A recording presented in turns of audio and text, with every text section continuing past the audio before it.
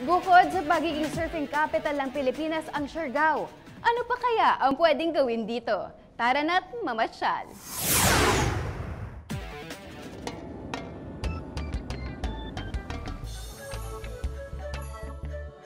Beach lover ka ba at sporty?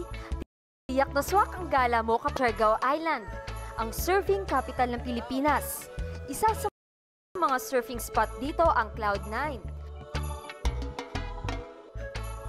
Kilala sa magagandang alon na perfect pang surfing. Tinawag itong Cloud9 dahil ang mga alon dito naguhugis number 9.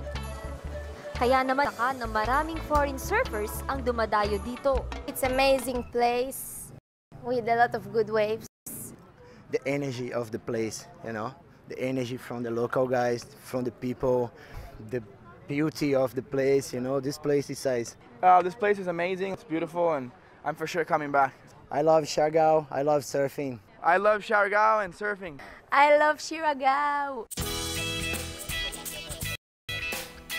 Yaman lamang na narito na tayo, hindi ko pinalampas ang pagkakataon na matuto ng surfing. dapat hanggang dito lang yung tail mo, tatawan mo sa middle din. Tsaka pag sabi ko ready, tsaka pag sabi ko din paddle, paddle ka, pag feel mo na tumakbo na yung bird, ang sabi na salon, doon ka natatayo. Pag tayo mo, dapat yung kamay mo ganun. Push. Kung right handed ka, right muna. Right, left. Dapat wide siya, tsaka bintiritso. Ganun.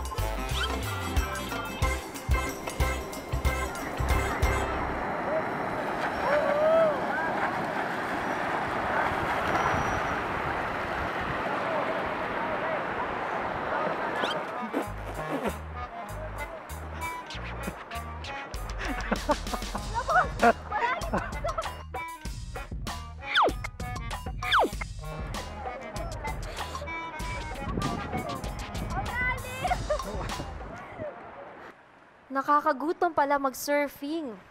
Merienda ba kamo? Tikman ang naiibang pandesal ng Siargao, ang Pandisurf. Pandesal na hugis surfboard.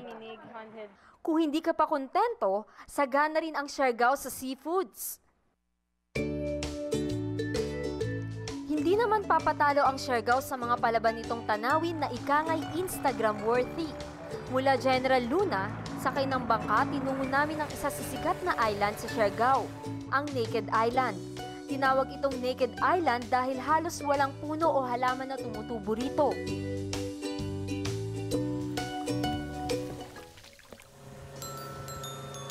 Hindi rin papahuli sa ganda ang Guyam Island at Daku Island. Mula Naked Island, mahigit 10 minuto ang biyahe papuntang Daku Island. May mga tao na rin nakatira sa isla na ito. Ang ibig sabihin ng Daku ay malaki. Sa mga sporty gaya ko, meron ditong beach volleyball.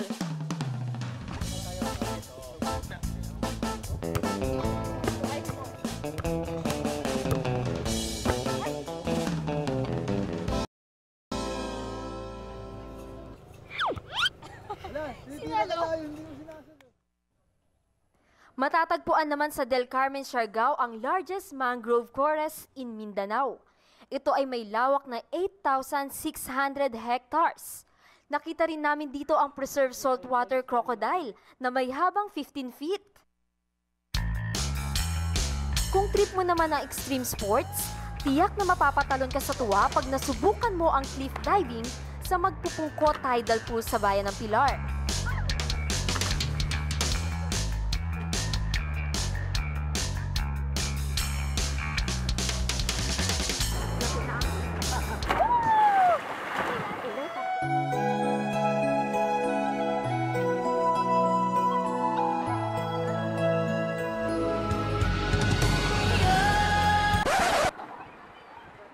Salamat, Siargao.